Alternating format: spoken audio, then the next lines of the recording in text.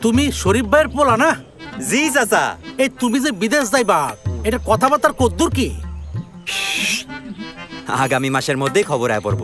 একটু টাকা পয়সার কমতি আছে তাই নিয়ে একটু টেনশন আর কি। আরে মিয়া আমার গ্রামের পোলা বিদেশ যাইবো এত টেনশনের কি আছে? তোমার বাপের কয়ে বলে দেখা করতে। তুমি কই যাইবা? আমি তো দেশেই থাকব চাচা। দেশে থাকবা? করবাটা কি? চাকরি? না চাচা নিজের একটা ব্যবসা শুরু করব। টাকা জমাচ্ছি। আর আপনি যদি আমার পাশে একটু দাঁড়ান। এই বাবলু! আসসালামু আলাইকুম স্যার। স্যার আপনি আমাদের শিখাইছেন ছোটবেলায়। দেশ সবার আগে। আর জীবনের মূল কথাই হলো দেশ গড়ি। আর এখন এটা হয়ে গেছে দেশ ছাড়ি। ছাড়বা কেন? দেশেই কিছু একটা করো।